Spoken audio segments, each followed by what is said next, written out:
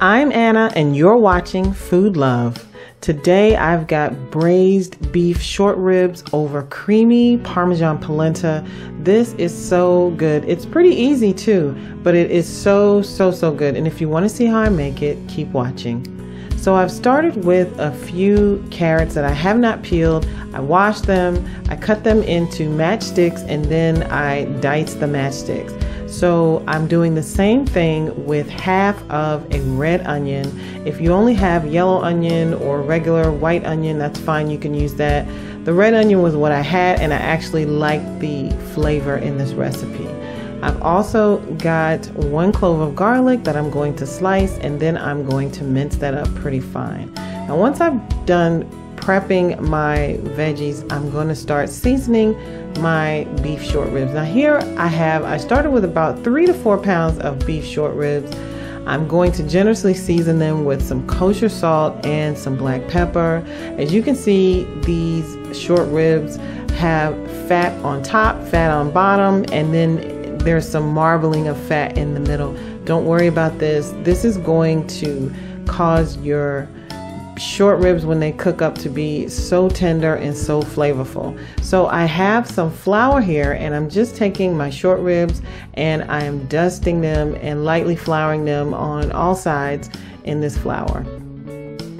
So I have a large roasting pan, very high sided roasting pan that converts from the stove to the oven and I've heated that on the stove top with some coconut oil and I have put the ribs into this pot and I'm going to brown the ribs on both sides.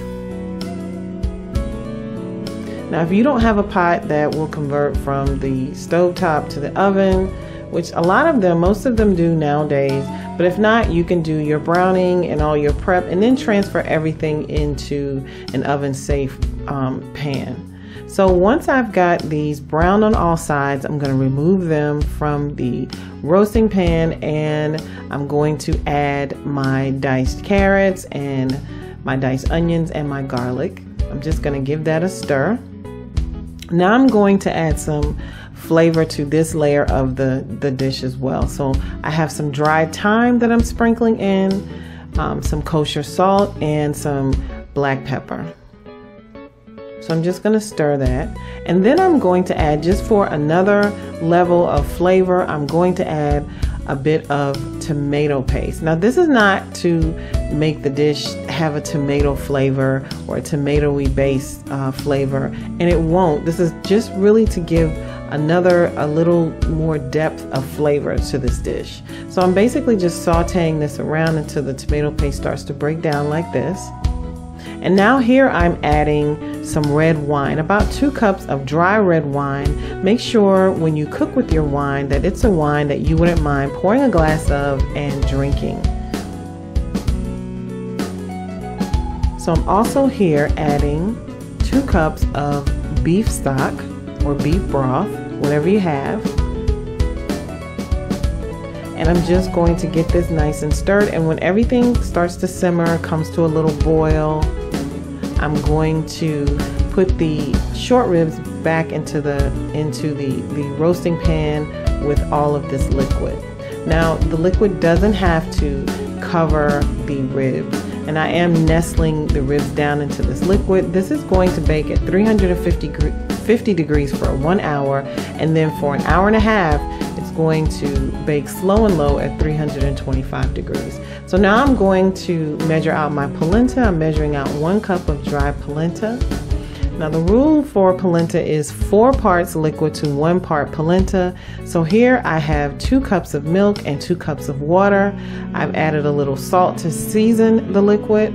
And then I am, I am sprinkling in my dry polenta and as you can see I am whisking the polenta into the liquid the entire time. Now this, the polenta tends to want to develop lumps so you kind of have to keep whisking it. And then once you're sure that you've whisked all of the lumps out, just turn the heat down to medium, medium low, put a lid on it, and total time was about 20 minutes. Now here, our short ribs are done. So what I'm doing is I am skimming off some of the fat that rendered during the, the, uh, the baking or the cooking process.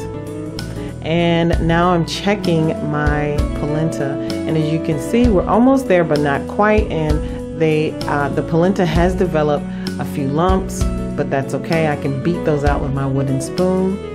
And then here I'm just ladling some of those pan juices over the short ribs. So back to the polenta. Now the polenta is just about done. So now we just need to add some flavor. So here I've added some cold butter and I'm just going to completely stir this in until it's all nice and melted. Now this butter is gonna is gonna add of course some silkiness and of course that delicious butter flavor, a little saltiness. And then here I have some grated Parmigiano Reggiano cheese. That's going to add some nuttiness. It's go going to taste so good. And then at the end I've added a little bit of heavy cream and of course, this is going to add some creaminess. And when I tell you that this polenta was so smooth and so silky, ooh, OMG, it was just really, really good. So I did make sure that I stirred this quite a bit with my wooden spoon. So now it's time to plate. So here's that creamy, delicious polenta. And then here's our beef short rib. I'm gonna put some of those pan drippings, that gravy, so good. Don't forget to subscribe. Guys, you really should make this. It was really pretty easy and so, so good. The ultimate comfort food. Until next time, I'm wishing you joy and lots of food love.